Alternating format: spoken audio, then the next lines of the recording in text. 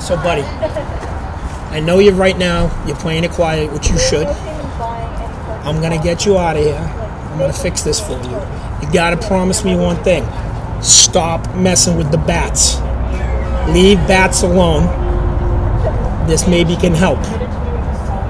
Don't make me call Amanda Waller, because if she gets involved, my friend, I don't know what to tell you.